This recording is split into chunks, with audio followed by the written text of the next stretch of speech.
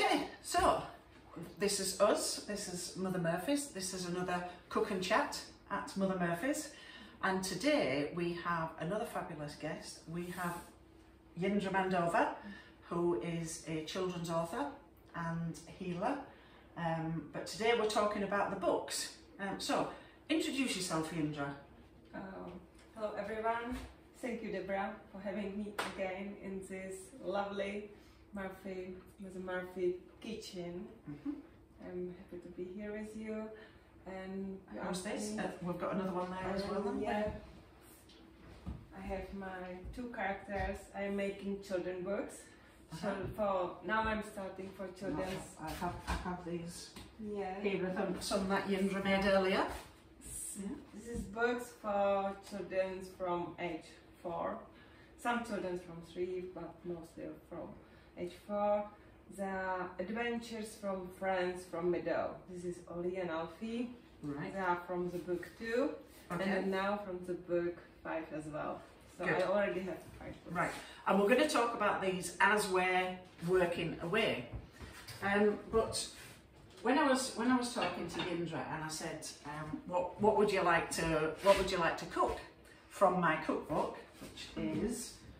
Mother Murphy's. Um, so it was the Magical Tea Room on the hill, and Jindra has never had Battenberg. So in my book, I have a recipe for Battenberg.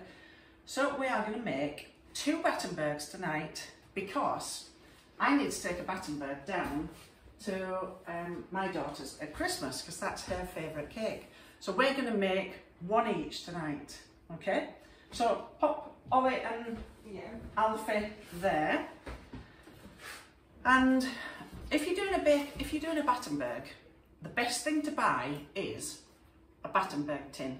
None of this messing about folding foil so that you, you know putting the cake on top of each other.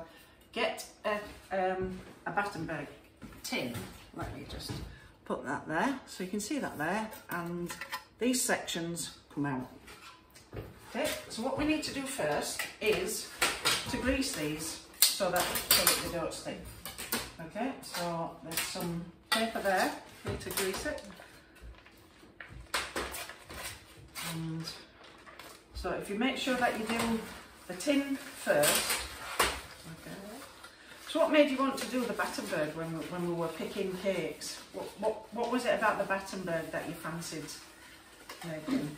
You mentioned it, and I told you I've never, never had it. And actually, there are many recipes from your book.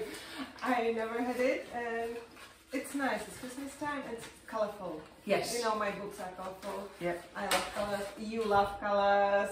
Yep. So once you've done the once you've done the, the tin, Yeah. what you need to do is grease um, your three edges. Um, these are what are going to divide the cake, and so make sure you've done all the sides. Yeah. And I'm that just- my best. That just slots in there.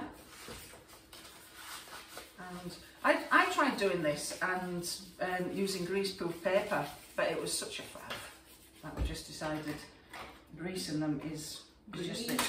Grease, greaseproof paper. Grease Um, paper. So paper that you put in that, so like like we lined the tins when we were making the parking with the paper, it's baking paper. baking paper, yes. So it's a, it's a funny thing. We call it greaseproof paper. I don't know why we call it greaseproof. Why do we call it greaseproof paper, Mr. Murphy? Mr. Murphy, who is wearing my glasses. Yeah, yeah. So I've always thought it's greaseproof paper because that's the way they've done it before. They put the, the, the, the, if they grease the paper, they, they really have the, I'll take that off you. it wasn't integrated into the paper. Oh, sorry to walk across the thing. Let me wash my hands why now. it's greaseproof paper. Grease like oily. Eh?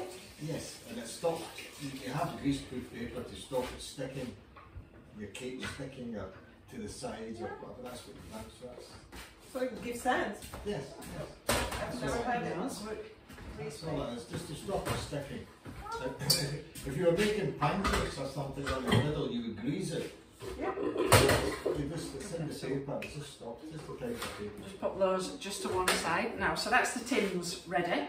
Just Yeah. put those to one side. Okay. Battenberg Yeah. looks really difficult to make. It's actually one of the easiest things to make. And the sponge that we Famous make, last words. famous last words. Um, oh, actually, I must show you um, because this is the evidence of um, what Florence did the other day. Yeah, that was that was before she got hold of baby Jesus. Yeah.